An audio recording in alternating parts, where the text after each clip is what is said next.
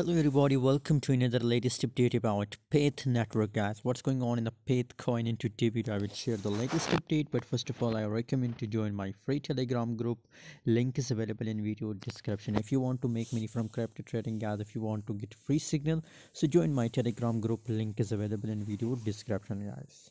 Pyth network is currently pumping very well guys. There is high volume in a Pyth network and still what's a lot of people asking me to tell us about Pyth network that is, is it continue for a long time this pump or not guys? Now it have to make a reverse guys. So it's a four hour time frame guys. Surely uh, we can see here.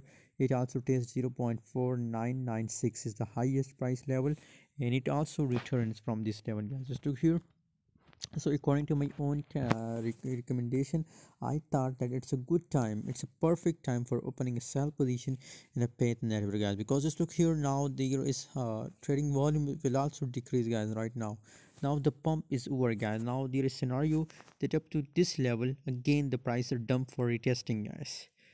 Again my scenario is that that this is the uh, resistance level and it will again turn to this and then we again expecting from guys. So for short time period for intraday for scalper it's a good time for opening a sell position in a Pyth network guys.